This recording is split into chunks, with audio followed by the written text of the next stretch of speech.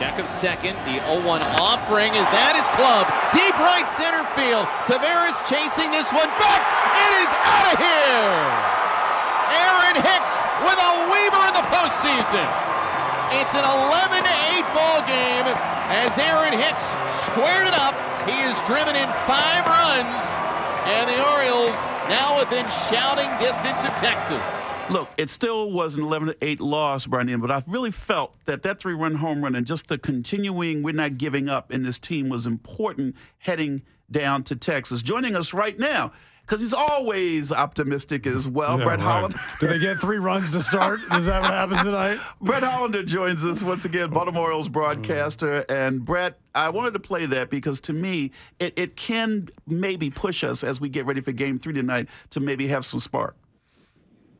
You hope so, C4. You hope so. I think uh, you know it's a weird series, as we've seen now these last few years. These wild card teams can grab kind of weird mojo and crazy momentum, and you hope the Orioles, just by virtue of getting some runs and getting on the road, kind of resetting here in Texas, and getting a chance tonight against Nathan Eovaldi, someone they know very well. Perhaps uh, just that reset does a lot. Yeah. Um, all right. So it's a pitcher that they've known, right? They've faced many times before. Um, also right-handed, which I think helps out a lot as well. So what do we think about this matchup for the Orioles tonight? Well, I think it's, historically, over the last few years with the Red Sox, Eovaldi has dominated the Orioles. Now, he had a good year with Texas, but got hurt late and then came back and really struggled. Now, he came back in the wild card series against the Rays and pitched really well. So it's a matter of what Nathan Eovaldi is tonight. Now, historically, he's been a great postseason pitcher, which is a big advantage. I do think, though, if the Orioles can work his pitch count, and I agree with you, Bryan, that uh, getting Ryan O'Hearn back in the lineup right on left tonight, kind of going back to what we've seen over the last few weeks. I'm guessing it'll be Gunnar leading off, Rutschman batting second, Santander third, O'Hearn fourth. That kind of sets in some normalcy. It's probably your best lineup, and it gives you your best chance to win today. And if you can kind of work that pitch count, we know that Rangers bullpen has struggled all year. So, uh, you know, I think there's this feeling around the club if they can just win today, and of course, in a short series like this, the, the comeback to, to have win three in a row, although not easy, especially going on the road for two games, not impossible either. Yeah. Brett Hollander is on board with us, broadcaster, Baltimore Orioles. And Brett, we were talking about earlier in the show, and the fact that Dean, Gr- Dean Kremer is on the mound tonight. Of course, his dual citizenship, what's going on right now in Israel. This may be a way for him to kind of uh, take that, you know, those thoughts and maybe focus in a way he hasn't been and produce a performance tonight. Well, just on a human level, C4 and Bryan, I think it's a tough, tough task for Dean Kremer tonight. Not only his dual citizenship, but having as much family as he does in Israel, and and just you know, he's a young kid. He's 27 years old. It's impossible for him to put all this focus right now into a baseball game. Uh, as you said, perhaps it's an escape tonight. Perhaps Right. he can put all that focus and energy into tonight's game. He's been a big game pitcher all year long. You look at his performances in the two clinching games. There was a game in early July against the Yankees. The Orioles were actually playing for a very brief stretch, the worst baseball of the year. They lost six out of seven. They really looked bad the first two games of a series against New York in the Bronx, and they came back and won those final two games, got hot again, went on a big winning streak before the All Star break. But it was Dean Kremer's performance mm-hmm. where he went seven innings, I think 10 strikeouts against the Yankees after they were really struggling, where it felt like, you know, he's the guy you want on the mound in a big spot. Offensively, I, I agree with you. I mean, I, I'd be shocked if it wasn't Gunnar leading off tonight, um, especially because it felt like every time he was up, he was going against a lefty in these in these first two games, and even though he, he did pretty well, we expecting to see Adam Frazier in the lineup tonight as a starter. I think so. I think you, you're going to get Adam Frazier in the lineup tonight. I think you'll see kind of the Orioles' basic approach versus a right-handed starter, and it gives you some good weapons off the bench. I think above all things right now, guys, you'd love to get Cedric Mullins going a little bit. Ryan Right. Who's only had a few at bats in this series, was really struggling before the postseason began.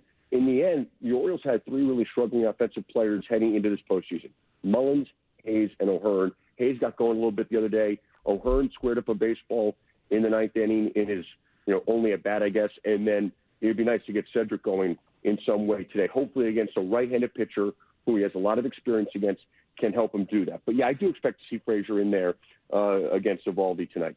One of the things, Brett Hollander, that I was concerned about Texas coming out of the two game sweep of Tampa Bay is it just on a roll right now. When you look at their lineup, one through nine, I'm never expecting Evan Carter to be a problem in that lineup. Or some of the people we've seen, the, the guy Oliveras hitting ninth, being a problem. They just can hit, straight out hit, Brett. Let me tell you what the baseball postseason has become. And I think it's really entertaining. And I think baseball's postseason product is spectacular. But as the postseason's expanded slowly here, unlike other sports which have been expanded for a long time, remember, it wasn't that long ago.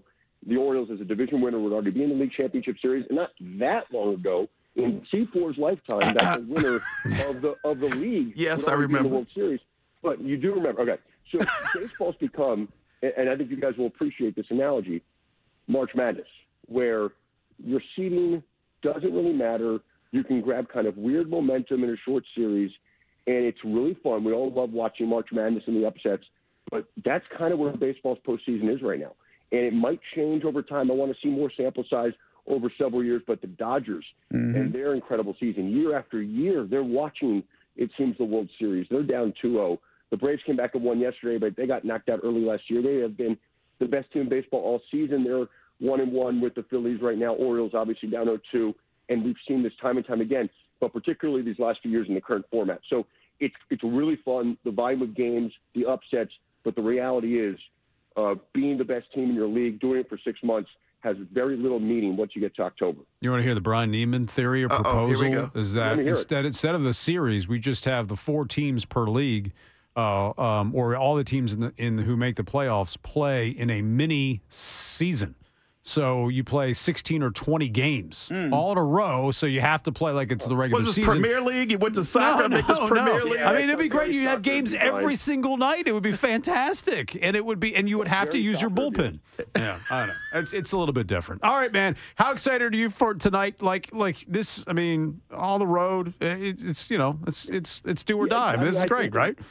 Yeah, of course. I mean, as a sports fan, as a lifelong Orioles fan, as, as a broadcaster, obviously, I'm, I'm fired up to get to the ballpark today and, and call this game on WBAL tonight. So uh, hopefully, I, again, I think there's this prevailing feeling with the club. And my sense of the team yesterday was they were very loose. Uh, it was not a tight group at all. And I think that they feel if they can get this one, then you roll the dice tomorrow night.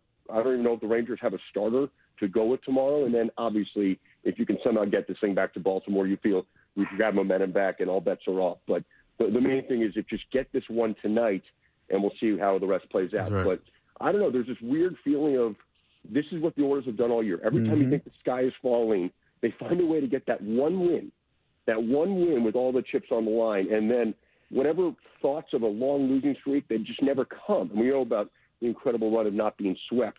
It would be some sort of weird irony yeah, if that yeah. happened here in the postseason. But I just think that every time this team uh, feels that there's chaos around them and the sky is falling, they find a way to get the win they really need. Well, Brett Hollander, as always, great to talk to you, my yep. friend, and we will be hoping we talk again tomorrow with a with good stuff. Enjoy Thanks, the game. Brett. We'll be listening. Thank you, Brett. Appreciate yeah. it.